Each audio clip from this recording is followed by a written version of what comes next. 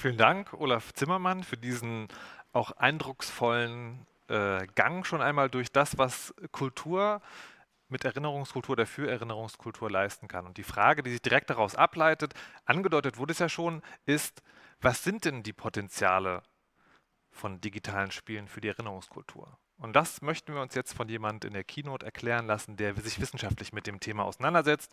Dr. Eugen Pfister arbeitet an der Hochschule Bern zu Game Studies, ist Gründungsmitglied des Arbeitskreises Geschichtswissenschafts und digitale Spiele und hat sich aber auch ganz konkret schon mit dem Thema beschäftigt. Zum Beispiel in seinem Forschungsblog gibt es einen Artikel, das unspielbare Spielen, Imagination des Holocausts in digitalen Spielen.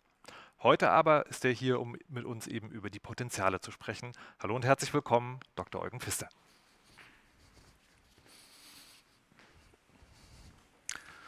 So, vielen Dank.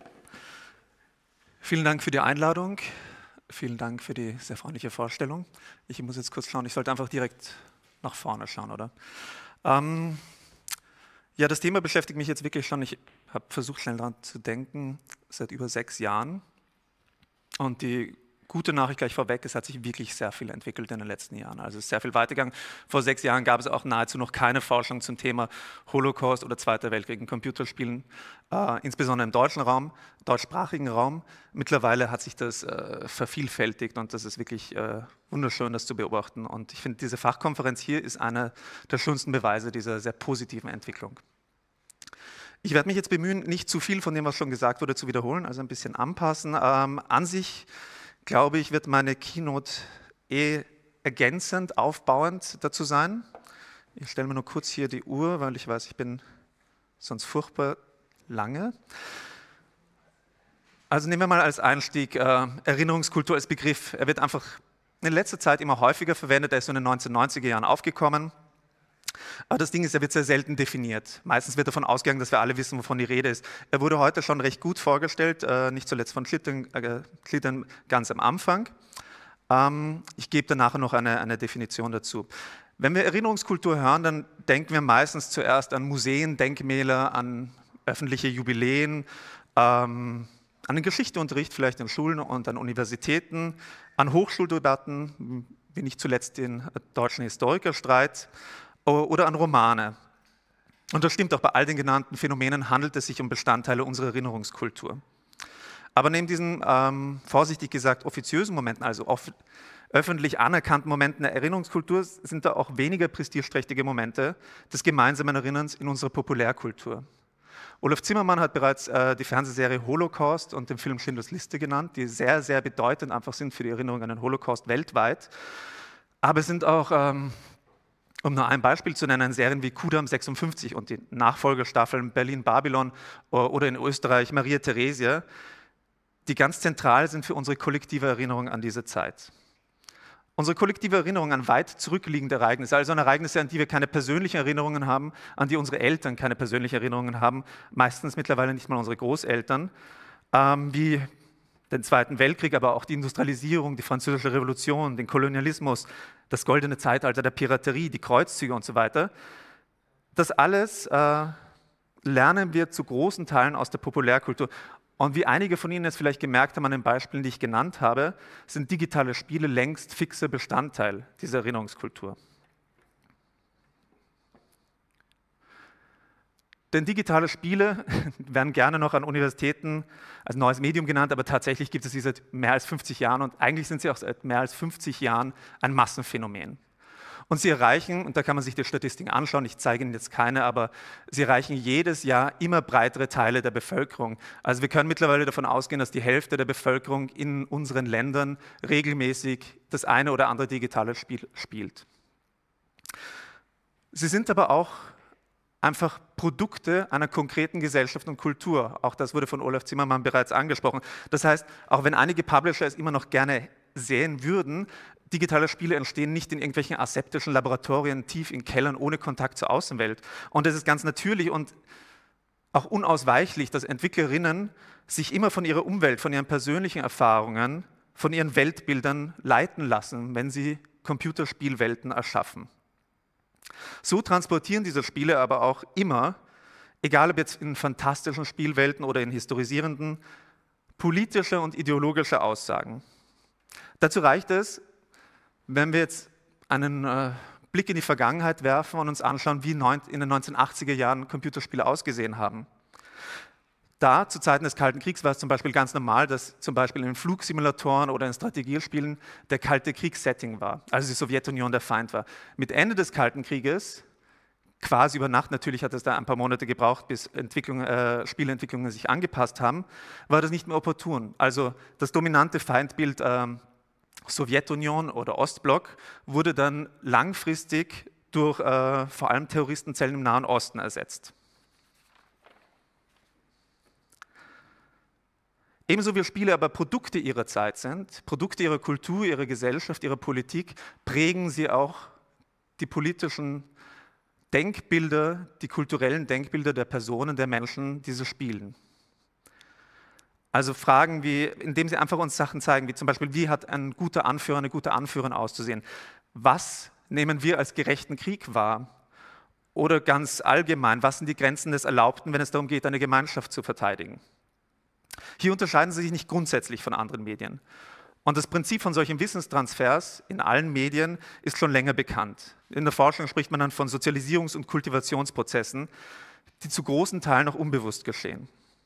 Ich möchte hier nur ganz kurz, ich kann hier nicht ins Detail gehen, aber ich möchte nur, weil hier manchmal der Eindruck entsteht, sagen, das ist nicht etwas Gefährliches, das ist nicht irgendwie eine gefährliche, unbeobachtete Propaganda, sondern es ist ein ganz normaler, und auch notwendiger Bestandteil unserer Gesellschaft, unserer hochkomplexen Gesellschaft. Hier ist die Populärkultur neben äh, ihrer Funktion als Unterhaltungsort auch ein Ort, wo wir Weltbilder, Werte und Tabus immer wieder aufs Neue ausverhandeln, damit ein, einem, ein Konsens möglich ist.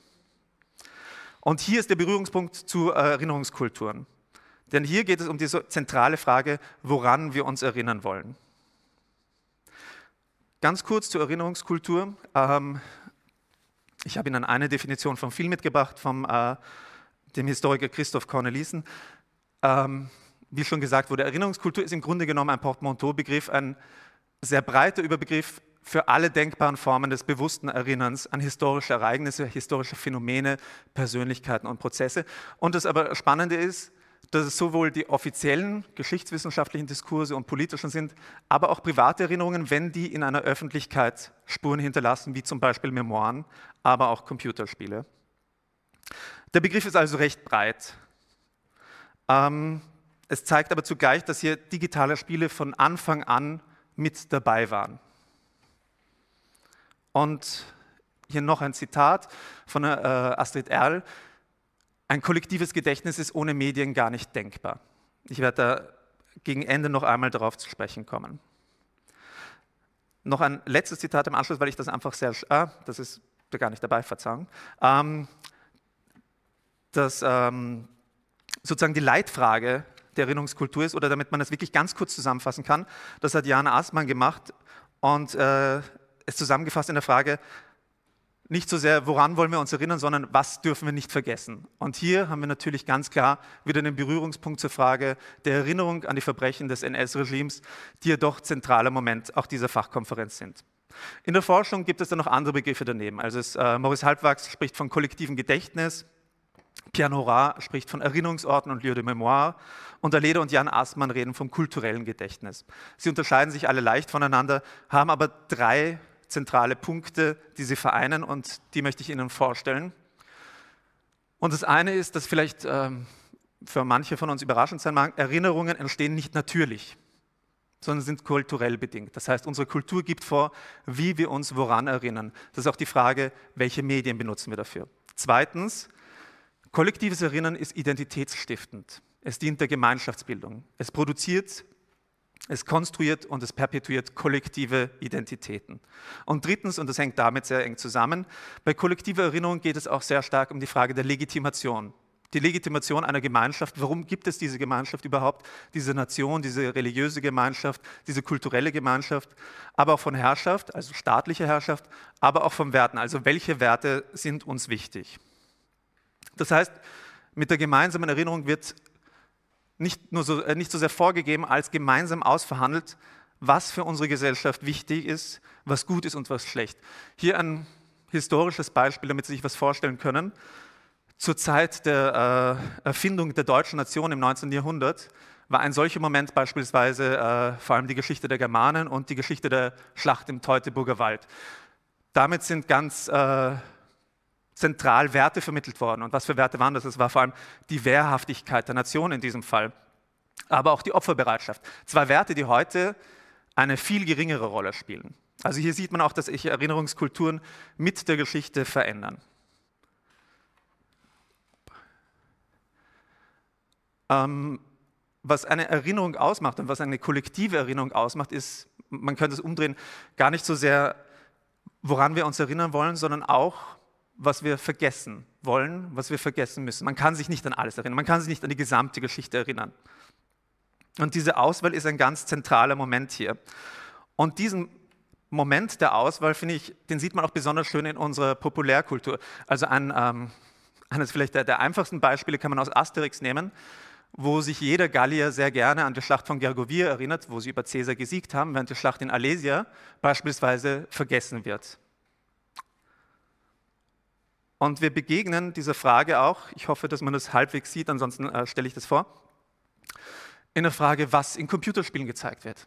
Also hier habe ich mir vor einigen Jahren angeschaut, welche historischen Kriege besonders häufig in Computerspielen vorkommen. Und der riesig große grüne Balken, den Sie sehen, wo groß 380 daneben steht von insgesamt ungefähr 800 Spielen, die ich ausgewertet habe, das ist der Zweite Weltkrieg. Also das ist sozusagen der zentrale Moment des äh, kollektiven Erinnerns der Erinnerungskultur in Computerspielen. Daneben die noch etwas höheren Balken, also der kleine grüne daneben ist der Erste Weltkrieg, der gleich viel weniger bedeutend ist in unserer kollektiven Erinnerung. Auch das entspricht einfach einer historischen gesellschaftlichen Realität. Davor sehen wir noch die Napoleonischen Kriege, dann recht viel äh, den amerikanischen äh, Bürgerkrieg, den Sezessionskrieg. Und ähm, ich glaube, der rote Balken ist die Sengoku-Periode in Japan, wo es um die Vorherrschaft im Shogunat geht. Also allein daran, was wir erinnern, zeigt schon, welche Werte vermittelt werden wollen, was wichtig ist für unsere Identität. Und das ist etwas, was einfach in Computerspielen auch ganz massiv vorkommt. Ein wichtiger Punkt, finde ich, für mich als Historiker ist auch, weil ich sehr, sehr häufig diese Debatten habe, also Sie fragen, wie authentisch sind denn diese historischen Spiele? Das ist eine Frage, die ich gerne immer gleich, äh, von der, der ich ähm, wegleite zu den zentralen anderen Fragen, die, welche Funktionen die historischen Settings haben. Denn in Erinnerungskultur geht es gar nicht so sehr darum, was authentisch ist, sondern mehr darum, was äh, authentisch wirkt. Es geht in Erinnerungskultur nicht so sehr darum, eine vergangene Realität zu rekonstruieren, wenn es darum geht, einfach unsere gemeinsamen Werte, unsere gemeinsamen Tabus immer wieder aufs Neue festzuschreiben, sondern es geht da um, einen, um den Moment der Wiederholung, des Rituals. Das ist auch der Grund, warum wir, wenn wir zum Beispiel uns Filme zum Zweiten Weltkrieg anschauen oder halt Computerspiele zum Zweiten Weltkrieg spielen, eigentlich immer wieder die gleichen Szenen haben. Also seit der Jahrtausendwende ganz massiv die Landung in der Normandie und hier auch sehr eindeutig äh, nicht basierend auf persönlichen Erzählungen, sondern basierend auf äh, Saving Private Ryan. Es sind dann aber noch die Schlacht um die Brücke von Remagen, die Brücke von Arnheim, die äh, Straßenschlachten in Stalingrad. Also alles Momente, die wir aus der Populärkultur schon kennen und so immer wieder aufs Neue einlernen. Ein schönes Beispiel dafür, was wichtig ist oder was als wichtig angesehen wird in der Frage von historischen Spielen, nämlich hier, und das ist ein äh, einer meiner Lieblinge, also das ist das Spiel Shogun Total War 2. Das heißt, wir sind jetzt erstmals weg vom Zweiten Weltkrieg, sondern in den äh, Shogun-Kämpfen um die Vorherrschaft in Japan und haben hier die Leibwachen eine, äh, eines Anführers mit so ballonartigen Konstrukten am Rücken, was zu einem Aufschrei, einem kleineren Aufschrei halt in Foren geführt hat und zu einer Debatte, dass das nicht authentisch sein kann. Tatsächlich äh, war das eine, ein Versuch einer äh, Rekonstruktion von, äh, basierend auf ähm, historischen Quellen. Aber im Publikum kam es einfach nicht so an. Es hat nicht funktioniert, weil es nicht an das vorher Bekannte angeschlossen hat. Und im, äh, unten in einem kleinen Zitat, finde ich, wird das ja schon zusammengefasst, wenn darauf hingewiesen wird, das kann nicht authentisch sein, wenn einer der berühmtesten Samurai, nämlich Tom Cruise, es nicht hatte. Das heißt, um noch einmal Jan Assmann zu zitieren, dass es für das kulturelle Gedächtnis nicht so sehr das Faktische wichtig ist, sondern die erinnerte Geschichte. Und vor kurzem hat das äh, auf dem Blog der Stiftung äh, Digitale Spielekultur Tabea Wittmann auch sehr schön noch einmal zusammengefasst in Hinblick auf Computerspiele, dass es nämlich um erkennbare Geschichtsikonen geht, um konventionalisierte Darstellungen und Erzählformen. Verzeihung, jetzt bin ich doch zu früh vorgegangen. Gut, bleiben wir einfach da kurz. Ähm, bevor wir weitergehen, will ich noch einmal zusammenfassen, was jetzt die zentralen Momente, die zentralen Punkte für mich sind. Erinnerungskulturen sind die Summe unserer kollektiven Erinnerungen. Dazu gehören digitale Spiele, wie auch Filme, wie auch Popsongs, wie mittlerweile Social Media, Romane und so weiter und so fort. Sie haben dabei immer eine identitätsstiftende Funktion und sie schaffen eine Wertegemeinschaft. Das ist zugleich auch eine legitimierende Wirkung, weil sie, legitimi äh, sie legitimieren diese gemeinsamen Werte. Wir wissen von Erinnerungskultur vor allem immer dann, wenn es einzelne Akteure gibt, die sie mitbestimmen. Einzelne Politiker, Politikerinnen, einzelne Wissenschaftler, Wissenschaftlerinnen, die versuchen hier eine Erinnerungskultur mitzugestalten, aber auch bei Künstlerinnen und Künstlern, also Autorinnen und Autoren. Bei Computerspielen haben wir hier zum Beispiel ähm, Spiele zu nennen, wie, um einmal nicht bei, ähm, beim Zweiten Weltkrieg zu bleiben, kürzlich habe ich Detention gespielt, ein Spiel aus Taiwan, wo es um die Diktatur in den 19, ich glaube 1960er, also die Diktatur war von den 1950er bis 1980er Jahren, aber wo es um die Zeit der Diktatur in dem Land in den 1960er Jahren ging. Eine Periode, die auch großteils und vor allem außerhalb des Landes sehr in Vergessenheit geraten ist.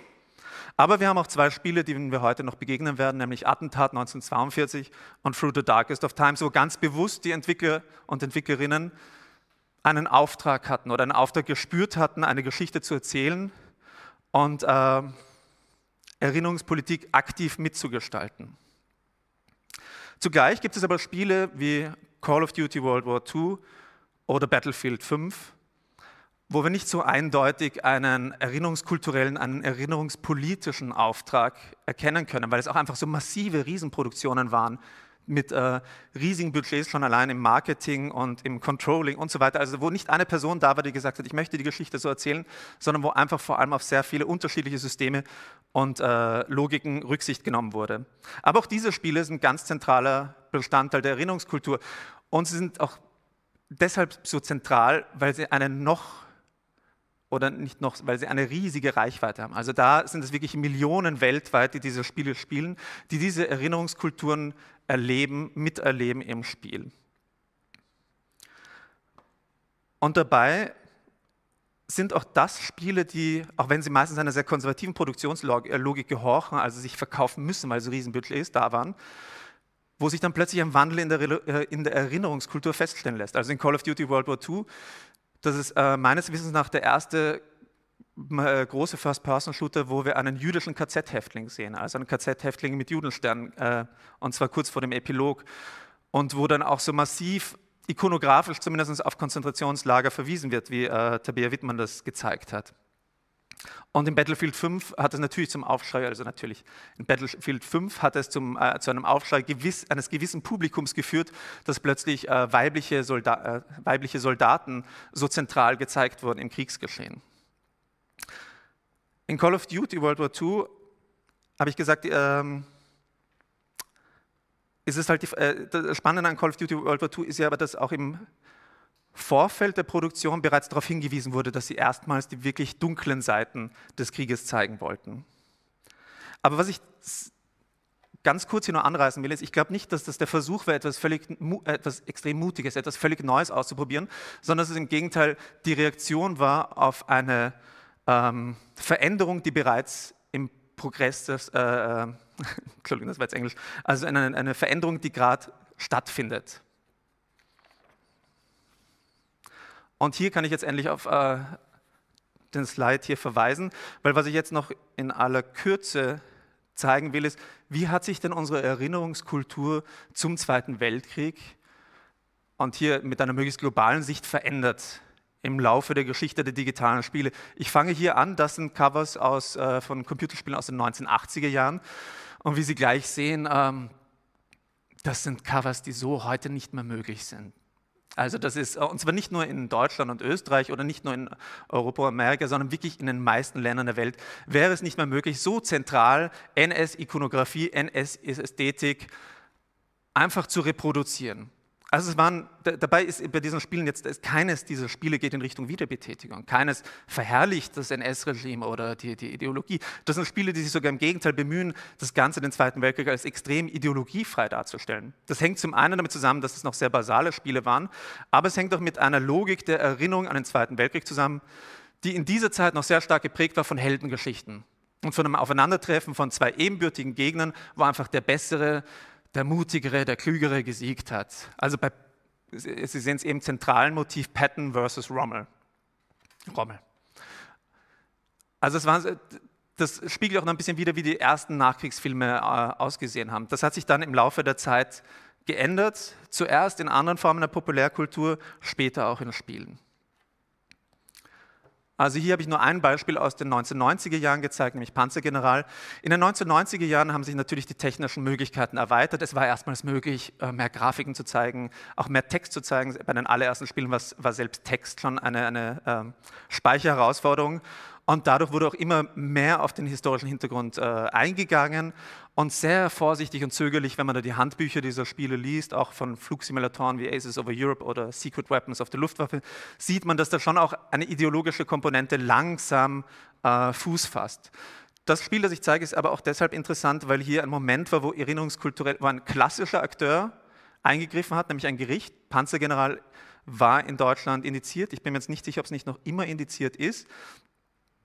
Und zwar interessanterweise nicht, weil äh, irgendwelche Insignien des NS-Regimes, also äh, verfassungswidrige Symbole wiedergegeben wurden, auch nicht, weil eine Verherrlichung der Ideologie vorkam, die nicht erwähnt wurde, sondern weil einfach Krieg an sich zu positiv dargestellt wurde. Krieg wurde so dargestellt, dass nicht auf die negativen Auswirkungen auf die Zivilbevölkerung eingegangen wurde. Es wurde einfach als Heldengeschichte gezeigt. Ein erster großer Paradigmenwechsel fand dann zur Jahrtausendwende statt. Und zwar mit äh, wieder einem eher klassischen Akteur, mit Steven Spielberg, der ja äh, nicht nur den Film Saving Private Ryan gemacht hat, äh, sondern auch die äh, Fernsehserie Band of Brothers in Auftrag gegeben hat und gleichzeitig, also wirklich im Rahmen einer Strategie, eine junge Bevölkerung über den Zweiten Weltkrieg und seine Geschichte wieder aufzuklären, auch ein Computerspiel in Auftrag gegeben hat, nämlich Medal of Honor. Und dazu heißt es, dass anfangs soll er in seinem eigenen äh, Spielstudio, nämlich bei DreamWorks Interactive, äh, auf Widerstand gestoßen sein, weil diese, also äh, zumindest findet man das in, in der Literatur, diese gesagt haben sollen, dass das nicht funktionieren kann. Also dass kein Jugendlicher jemals einen First-Person-Shooter spielen will, der im Zweiten Weltkrieg stattfindet, weil es einfach zu düster ist und sich niemand damit auseinandersetzen will. Wie Sie vielleicht wissen, war das der Moment, wo dann äh, First-Person-Shooter zum Zweiten Weltkrieg äh, massiv explodiert sind als Phänomen. Innerhalb von zehn Jahren gab es über 30 größere, also wirklich mit Millionenbudget äh, produzierte First-Person-Shooter, die im Zweiten Weltkrieg gespielt haben, neben Medal of Honor auch vor allem Call of Duty. Und in einem Nachfolgeteil von Medal of Honor, nämlich in Augenblick Medal of Honor Underground, sieht man auch am Anfang des Spieles, äh, ist wieder so ein, ein ein Moment einer Veränderung des Wandels, nämlich da sieht man im Vorspann kurz auch ähm, Aufnahmen von, ich glaube, von Wochenschauen und auch eine von Heinrich Himmler. Und zu seinem Gesicht wird, äh, hört man aus dem Off, uh, The Greatest Crimes Against Humanity in Human History wurden zu dieser Zeit begangen. Das heißt, das ist ein Spiel, das, so jetzt ist, äh, nach meinem derzeitigen Stand des Wissens, das erste große Spiel war, das von Kriegsverbrechen so deutlich gesprochen hat. Es war dann aber ironischerweise, also der nächste Wechsel oder in der Erinnerungskultur der nächste Paradigmenwechsel fand statt in Wolfenstein The New Order. Also das sind wir jetzt in den 2010er Jahren. Und ähm, das ist in gewisser Weise ironisch, weil ich weiß nicht, äh, wenn Sie das Spiel nicht kennen, Wolfenstein findet in einer Alternativgeschichte statt. Also es ist nicht ein Spiel, das sich bemüht, historisch authentisch zu wirken, weil es spielt in den 1960er Jahren, die Nazis haben gewonnen, sie haben Roboterhunde, Riesenkampf Panzer und Flugschiffe, eine Mondbasis, eine Venusbasis und so weiter. Also wir befinden uns hier eh im Rahmen des Nazi-Exploitation-Genres, so wie äh, das ja zuletzt auch ein Aufleben hatte mit Filmen wie Iron Sky und äh, Operation Overlord. Aber es war auch das, es war das allererste Spiel, das so eindeutig ein Konzentrationslager in Szene gesetzt haben. Und hier auf dem Bild, das aus einer Cutscene stammt, sehen Sie bereits, also wir haben da das Gatter mit äh, hier dem Schriftzug Belitzer, weil das Lager so heißt. Hier werden natürlich sofort Erinnerungen an das Lager Auschwitz geweckt und das Arbeit macht frei. Also hier wird ganz eindeutig die Ikonografie in, in Szene gesetzt. Auch man sieht es aus einem Viehwaggon heraus. Man sieht die Gefangenen. Ähm, man, Im Hintergrund sieht man sogar die, die Riesenschlote, wo die ganze Zeit Asche und Staub rausgespuckt äh, wird. Also man weiß sofort, in welchem Setting man ist, auch wenn in diesem Spiel noch nicht offiziell von, äh, von einem KZ gesprochen wird. Auch hier die, äh, diese Szene zeigt die Baracken innen. Das sind Bilder, die, falls Sie mal in Auschwitz waren oder es in Bildern gesehen haben, die Sie sofort wiedererkennen. Gut. Ähm, was ich an diesem Beispiel zeigen will, ist zum einen, dass sich Erinnerungskultur ständig verändert. Sie passt sich uns an oder sie passt uns teilweise auch an, also es ist ein wechselseitiger Prozess. Die Erinnerungskultur sind ja im Grunde wir. Und zum anderen aber auch, dass sich immer neue Möglichkeiten entwickeln und digitale Spiele sind hier eine der spannendsten neuen Möglichkeiten. Und ich sage das jetzt nicht nur positiv, es, auch, es, wird auch sehr viel Unsinn geschehen, auch in den folgenden Jahren. Es werden sich Entwicklungen zeigen, die wir nicht gut finden. Was wichtig ist, ist, dass das ständig in einem Prozess des Diskurses und der Diskussion stattfindet. Aber schon jetzt bereichern uns digitale Spiele, bereichern sie unsere Erinnerungskultur. Weil, also ich habe jetzt Wolfenstein gezeigt und jetzt zeige ich eine Szene aus Call of Duty World War II.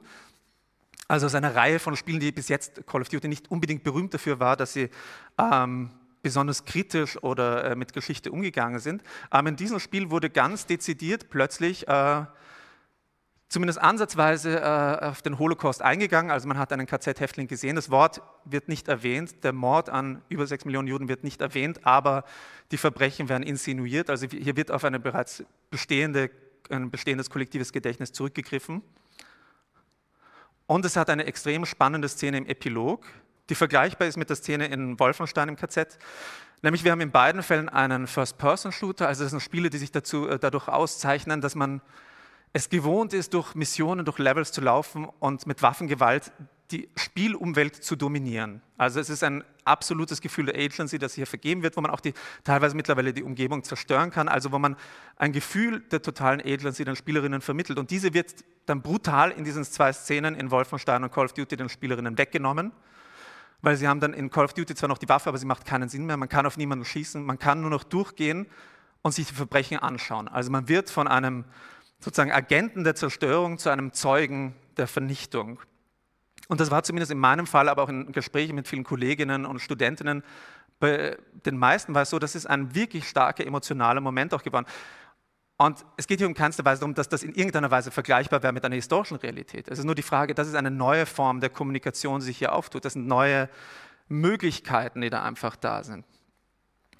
Aber auch um wieder auf die zwei Spiele zu sprechen zu kommen, die wir heute noch sehen werden.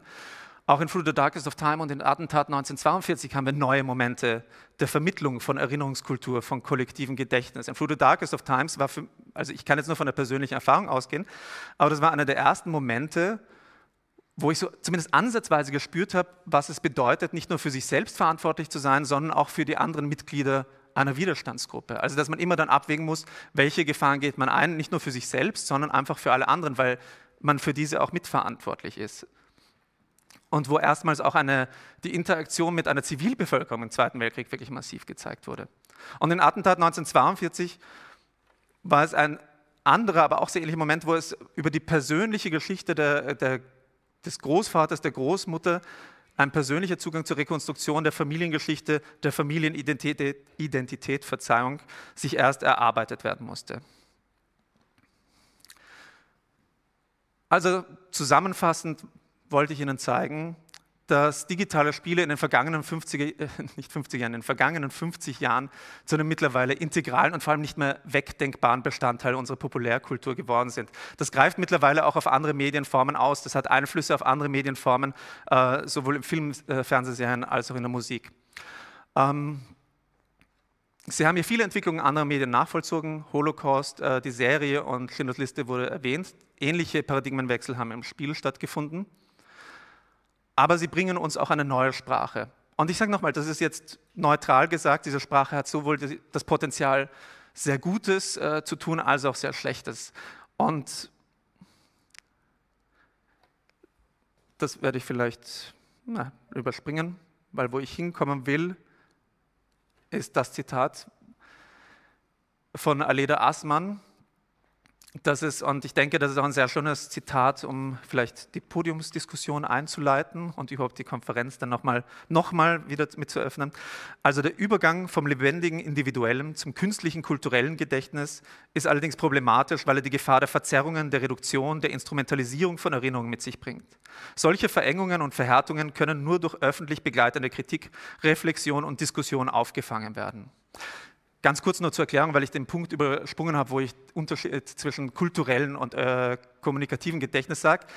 Und ich bin gleich fertig.